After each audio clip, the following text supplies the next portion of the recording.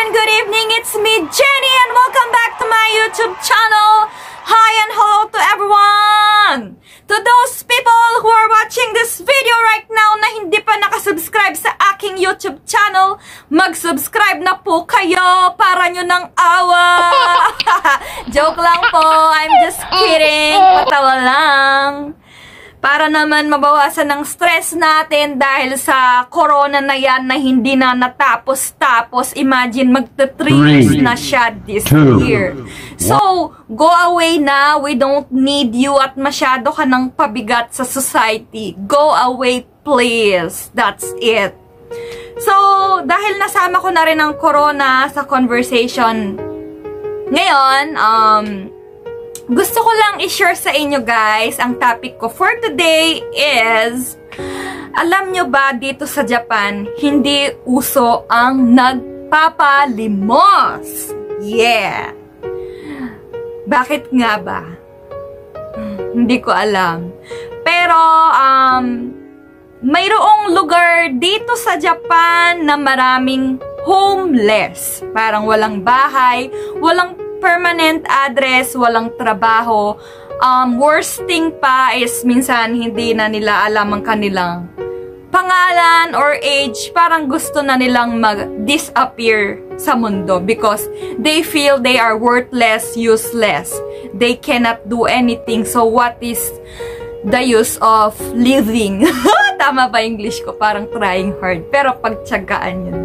Yun. So, wala kang makikita dito na parang pumapalad na, uy, parang di pa ako kumain. Baka naman pwedeng magbigay ka kahit na baryaman lang or kung ano ang iyong kinakain, pwedeng hatiin mo ko, ganun. Wala namang ganun. At saka parang bawal kasing magbigay ng um, coins or papel na pera sa kanila or pagkain kasi um, ang Japan kasi medyo strict siya na country. So, uh, I don't know why. Unlike sa ating mga Filipino, we are so friendly, laging nakatawa. Sa Japan, walang ganun. Talagang serious sila.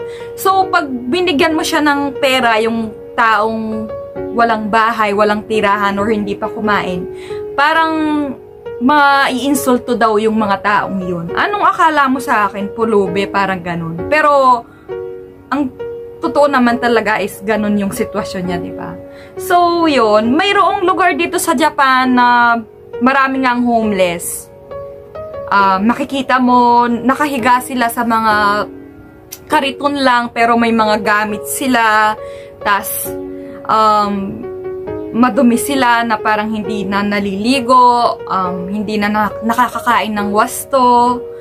Yun, um, okay lang sana kung um, sa isang taon, ang season is summer. Di ba mainit? Kahit sa labas ka matulog, okay lang. Pero paano pag malamig ang panahon? Worst, malamig, tas umulan, tas umulan pa ng yelo.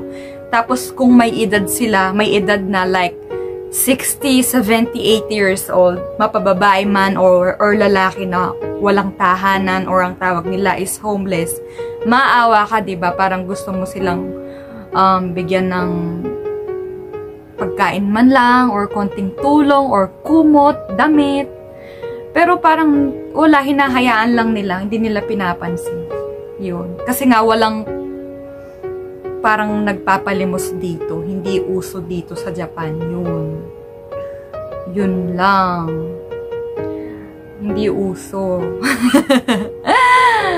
yun nakakaawa sila kasi pag titignan mo syempre, lalo na pag may edad na sila, mahina na ang katawan tapos um, hindi ka na makakapagtrabaho, di ba? Pag medyo matanda ka na, tas kung wala ka pang pamilya, parang sarili mo lang ang aasahan mo, paano ka nga mabubuhay eh, lalo na dito sa Tokyo, ang Ueno area kasi part pa din siya ng Tokyo.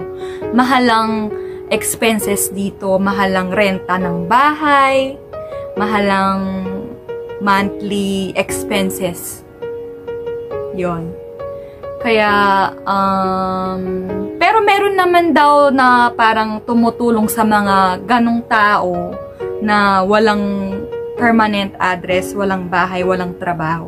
Kaya lang yung iba, parang they are refusing yung tulong na yun.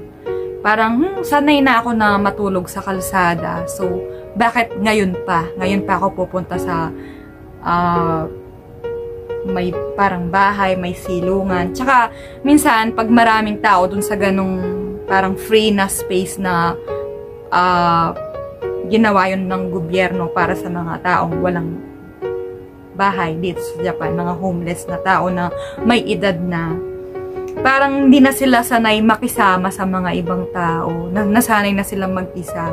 Kasi minsan may taong gustong mapag-isa. Pag mayroong kang kasama, parang minsan may irita ka, may ingayan ka, or parang, um, ibang tawag doon? Parang, iisipin mo pa siya, okay lang kaya bawal siguro akong mag-ingay. Bawal akong umubo. Pag umubo ako, baka magising yun. Ganun. Kasi dito ganun talaga eh, kahit konting konting atching lang, minsan lahat ng tao mapapaharap sa'yo. Especially pag nasa loob ka ng bus and train. Yon. Kaya minsan parang naano ako sa free free country. Nawa-wonder ako. What if kaya kung minsan um, mag-try ako mag-visit sa mga free country na Amen! What's up, yo? Come on, join us! Let's drink! Have fun! Dito, hindi kasi ganun di cool eh. Siguro para sa ibang tao ganun. Pero, generally, tahimik sila. Yun. Alam ko, alam nyo po yan sa mga taong nandirito sa Japan. Yun. Pero pag tumagal ka na dito, tumatagal na yung stay, period of stay mo sa Japan, parang you belong with them you belong to them na masasanay ka na na ganun. Kaya pag umuwi ka ng Philippines, maninibago ka na. Why? So, maingay, maingay ang busina ng jeepney, mausok ang bus, um, bawal tumawid, nakaka nakamamatay, pero pilit pa rin tumatawid din. so, yun lang. Um, sa atin naman, sa Philippines, di ba, uso naman ng mga nagpapalimos ganon.